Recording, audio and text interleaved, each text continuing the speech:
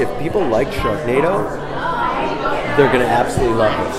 There's, they're gonna riot if there's not a second one the next summer. It's gonna become appointment television, just like Sharknado has done for the last six years. So no chainsaws. No chainsaw, but there is, there is a signature weapon.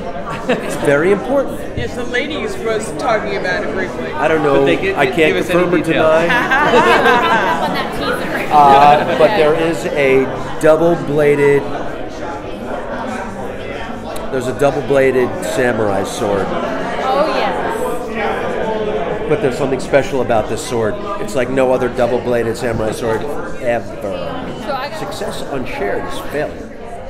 And I believe that I can create an asset that would be very successful and help the tide rise for all the ships that were in the water. And that's always very important. Now, let me tell you, once we've shot it, now that it's done, the movie's excellent. It's so much better than Sharknado 1. James Cameron, no, we're not trying to deliver James Cameron. I'm working within the playing field for the audience that I'm trying to appeal to, and I think we've done that beautifully. Hunter Shaw, nothing like Fin Shepard. Hunter Shaw is a loner.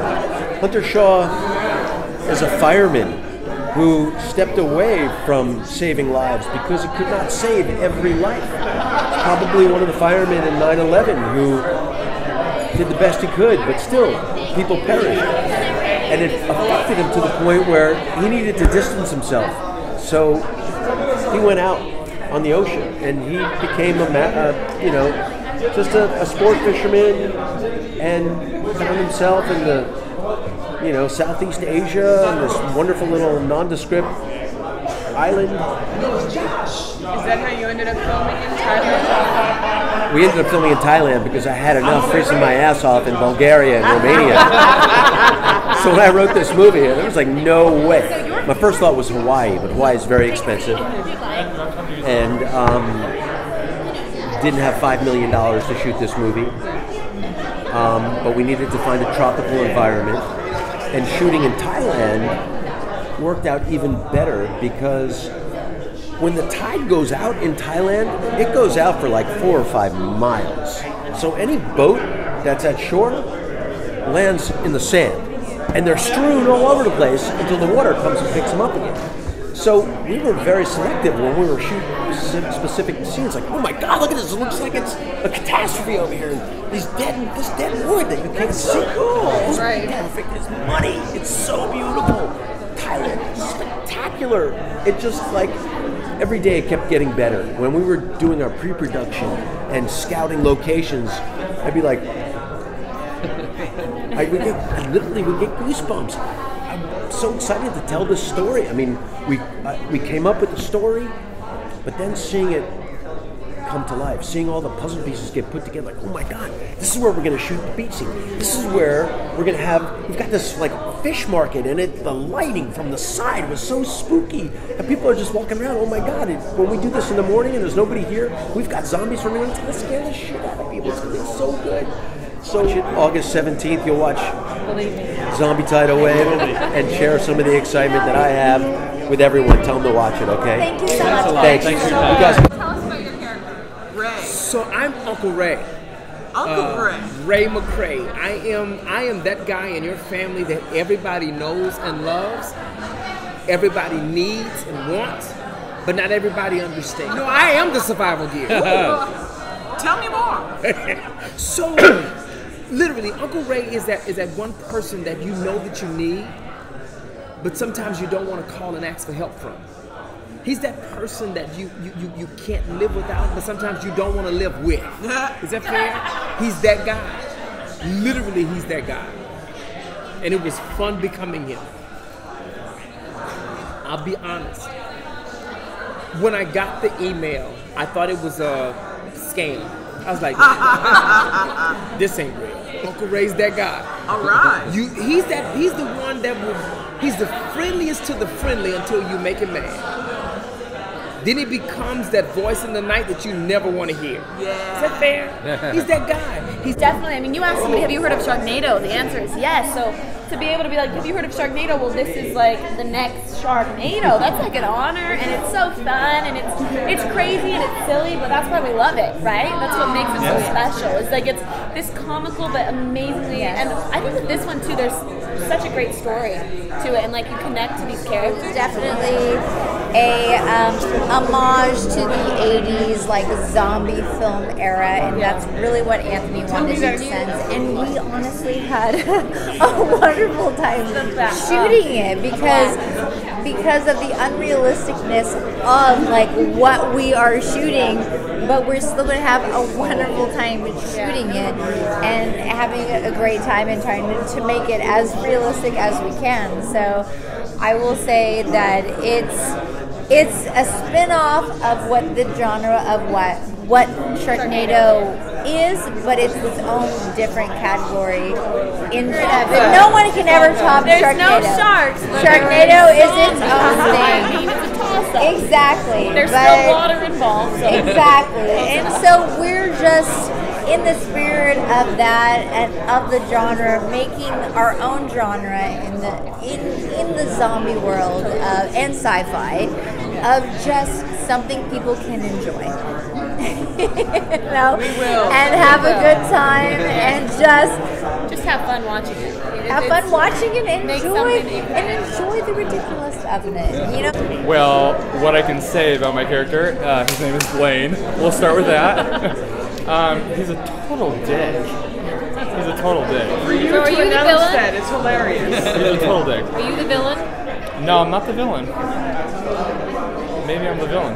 Secrets out. You gotta watch it. No, um, he was a very different character than what I'm used to playing, and it was really exciting for me to play him just because it was so other. So he's kind of a dick. yeah. If I'm gonna be honest about the challenges, you know, my mom's from Norway. I spent part of my life in Norway. I like the snow. This was, you know, I mean, I live in LA. It gets hot as hell in LA, but it's dry, you know.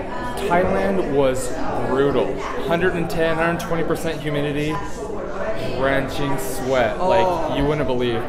Uh, I had to have a girl literally follow me around on set and pad my face pretty much every time I was on set. And that's no joke because it was hot. So, but I loved it though, you know? Oh, yeah. Yeah. You don't want to watch too much. What you want to do is get your beer and your popcorn on August 17 and watch the show, right? I mean, that's what you want to That's do. the goal. Yeah. Oh yeah. Do you feel you're prepared for a zombie apocalypse if it happens now? Hell no. Hell no. I mean, what do you do? You just like run and scream and there's blood? I'm dead. The fir- I'm one of the first that are dead, to be honest with you. if you're asking about me, Lincoln Bevers, yes. Okay. Yeah, I know. When, when I first moved to LA, my mother sent me a earthquake preparedness package. So I have that. I think. I mean, I think you grab a knife. I don't know. I mean, like, what's the genre? You know, like, what zombies is it? Like, stab in the head, shoot him in the head? I don't know. I don't know. I don't. I think I'd be screwed to be honest. Are there any zombie sharks? well, wait and see. Well, but see, you know, I think that's the, the weird thing that happened on that first movie is that um, we talk about it a lot. Everybody always asks, why was it successful? Well, we don't know. The main thing is that it wasn't marketed. I mean, it was. It wasn't because they didn't market it. It's just that they do like they did like whatever, thirty or forty sci-fi movies a year. It was just another one of their movies, but it somehow struck a nerve, and the fans found us. We did a little grassroots stuff, but we were made by the fans, and we always remembered that while we made the other films. You know, and. Um, we have fun making them. I'm a big nerd, and so there's a lot of stuff in these movies that are that are very you know paying homage to things, but also just has my little weird sense of humor. I was the weird kid in high school, and so the fact that the most popular thing I did was the weirdest thing I did there. So I got together with our editor and somebody else. And we just sat to QC the movie and watch it for the first time. And I sat there after it was over. and going, this is like three weeks before it aired. I'm like, I think we made the weirdest sci-fi movie ever. Uh-huh. and if we're lucky, maybe it'll be a cult film in five years because it was weird. And then you look at it now and it's just Sharknado, but it's a weird film. And so I think that's what it was, and it was something that families could enjoy.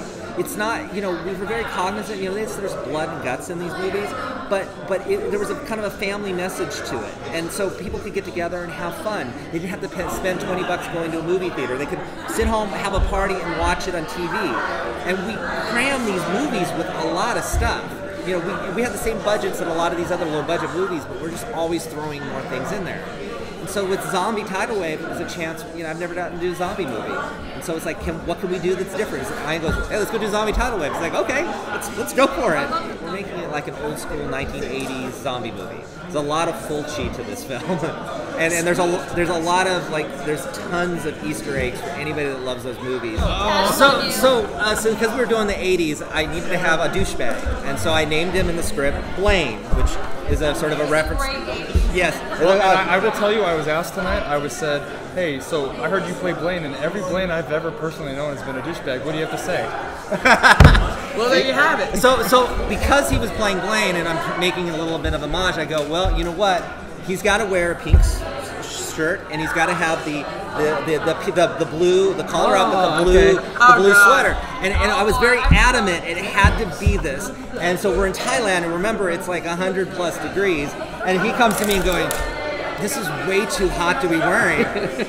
and I tell him, no, you're wearing this. Ian, Ian even told me I didn't have to wear it, but he overrid him. So yeah, it was a great look. That wasn't the issue. It was the issue was it was 120% humidity and about 102 degrees outside. Oh. And we were on the water. But You sweated for your art. I sweated for my art. I, I I bled for him. Yeah. Great. So he play, he plays the quintessential douchebag, and he was actually one of the, the most fun characters to write because he could do anything. He does things that just he shouldn't do, and it's just great. Well, basically, what happened was he said, I met him and he said, Hey, I'm looking for a guy that acts just like you do. Oh, I did di- not. He didn't say say that. that. Could you play yourself on camera? I, I fought to get you in this thing. We, he did. He did. I actually, uh, one of the things that was I, I realized with Sharknado is that I think I'm one of the only filmmakers from beginning to end that have done six movies consecutively. The only, the only thing, like, if, Michael Bay, I think did five, and I think we'll have five with Indiana Jones. But from beginning to end, from one to Blake oh, Edwards came close, but he didn't do Inspector Clouseau. So I, I even beat, like, even though he did more Pink Panther movies, he, he took a break, and that was technically canon. So it's weird, but I, I have to have some badge of honor with these movies. Hey, I didn't even know. That's great. You've made like a summer tradition. Yeah, and that's what Yeah. we try to continue with Yeah. this. So. And I can't wait till y'all experience Zombie Tidal. Neither can we.